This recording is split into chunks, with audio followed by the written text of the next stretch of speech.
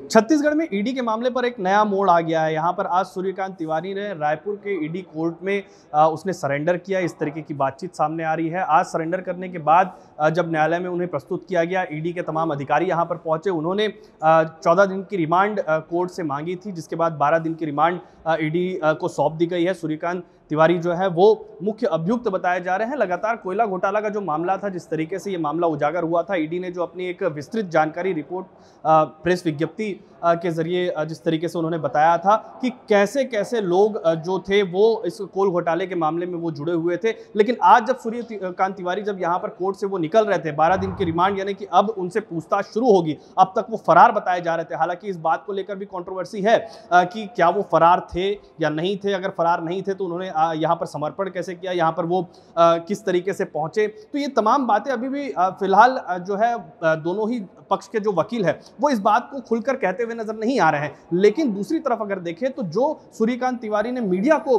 जिस तरीके से अपना बयान दिया कि उन्हें जान का खतरा है, अब एक नया सवाल यहाँ पर खड़ा हो गया है कि उन्हें जान का खतरा किससे है?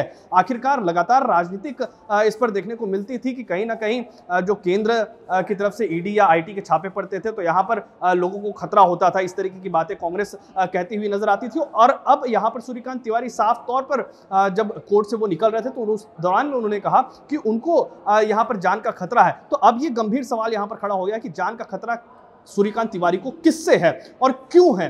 ये तमाम सवाल के जवाब अब कब तक आएँगे? पूछताछ में और क्या कुछ नए मामले सामने होंगे? 10 तारीख को चारों ही जो आरोपी हैं, उनको यहाँ पर कोर्ट में फिर से प्रस्तुत किया जाएगा और उसके बाद ये खुलासे हो सकते हैं कि उनसे पूछताछ में क्या कुछ बातें निकल कर सामने आई हैं। कौन कौन सी और जानकारियाँ सूर्यकांत तिवारी ने दी है। सूर्यकांत तिवारी अब तक कहाँ थे?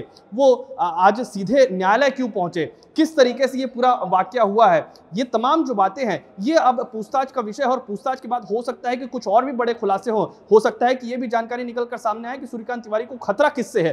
क्या किसी व्यक्ति से खतरा है? या किसी और चीज़ का खतरा है, उन्हें, कोई उन्हें डरा धमका रहा है, किस तरीके का खतरा है, किससे खतरा है, ये तमाम ऐसे सवाल हैं जिसका जवाब अब शायद आने वाले वक्त में पता चलेगा, लेकिन अब इसने नया मोड़ ले लिया है, ईडी की जो पूरी कार्रवाई है, वो अब आने वाले दिनों में देखने को मिलेगा कि क्या कुछ उसके जाँच में निकलकर चीज़ें सामने आएँगी। कोर्ट ने फॉर्मल सरेंडर को एक्सेप्ट करते हुए हमको इन्फॉर्मेशन दिया, हमने जो है उसको फॉर्मल अरेस्ट किया। है अरेस्ट करने के बाद बारह दिन की रिमांड हमको ईडी को मिली है। बारह दिन की रिमांड में उसमें ईडी जो है इंटरोगेट करा जी। जी। कुछ और भी अंदर जानकारी हुआ? नहीं जानकारी तो कुछ नहीं सिर्फ़ यही हुआ कि उन्होंने सरेंडर किया उनको इन्फॉर्मेशन दी गई? जी। हमने नॉर्मल कस्टडी के लिए आवेदन किया कोर्ट ने हमको रिमांड अब जो है इससे पूछताछ होगी क्योंकि मेन सस्पेक्ट यही है। जी। सूर्यकांत तिवारी उनके खिलाफ बेंगलुरु में एफ़ आई आर हुई उसकी बेंच पे सी आई आर दर्ज हुई। जी।